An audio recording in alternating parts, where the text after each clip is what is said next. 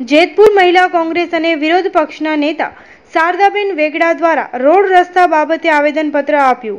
જેતપુરમાં આજે વિરોધ પક્ષના નેતા શારદાબેન વેગડા દ્વારા આજે રોડ રસ્તાના કામોમાં થતા ભ્રષ્ટાચાર બાબતે આવેદનપત્ર આપ્યું હતું.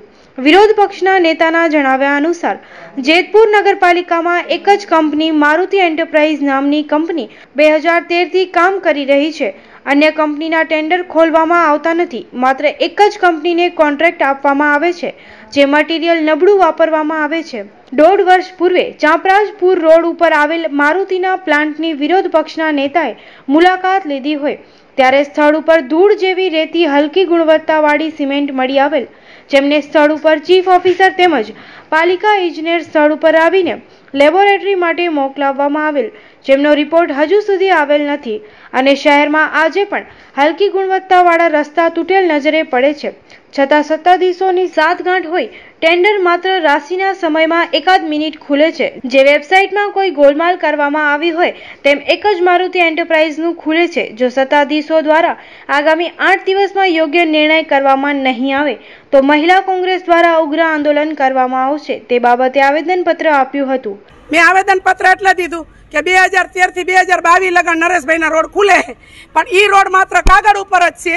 ગરીબ પ્રજાના તો રોડ થયા નહીં. મારી મહિનામાં બે વાર રેલ્યુ રોડ રસ્તાની જ હોય છે. તો રોડ રસ્તા તો બનતા નથી. તો આ ટેન્ડર ખુલે તો ક્યાં જાય છે? મને તો એવું દેખાય ગાંધી લગાના ટેન્ડર પૂગે હે તમે જો ગમે એ નગરપાલિકા હશે પણ ત્યાં કેટલાના ટેન્ડર ખુલતા અહીંયા તો બસ મારુતિ સિવાય ટેન્ડર ખુલતા નથી. અને આટલો બધો ભ્રષ્ટાચાર કે જ્યાં ચાલુ પ્લાન્ટ ઉપર કોઈ પણ નંબરે અને રેડ પાડી આટલું મટીરિયલ આવ્યું, એટલા રિપોર્ટ ગયા તો પણ રિપોર્ટ નો આવ્યો.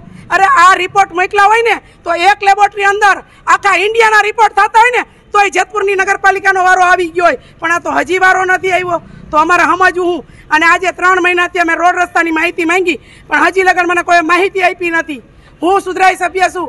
મને કાગળ ઉપર ત્રીજે દિવસે માહિતી દેવી જોઈએ પણ હજી મને માહિતી આપી નથી.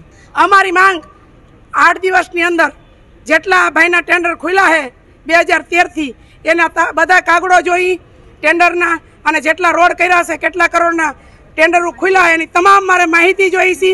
અને મેં એક વર્ષ પહેલાં જે રેડ પાડી હતી કપસી રેતીનો, એનો મને રિપોર્ટ જોઈ કે કયું મટીરિયલ વાપર્યું છે. તો હું આઠ દિવસ ઉપર ઉપવાસ ઉપર બેહીશ.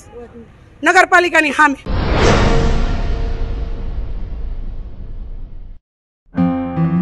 ચાર પાંચ દિવસથી અને ખૂબ જ તાવ છે. હમ. માથું શરીરના સાંધા અને આંખોની પાછળ દુખાવો પણ થઈ રહ્યો છે. હમ. શરીર પર લાલ ચકામા પણ છે. આ ડેન્ગ્યુના લક્ષણ છે. ડેન્ગુ ગભરાઓ નહીં.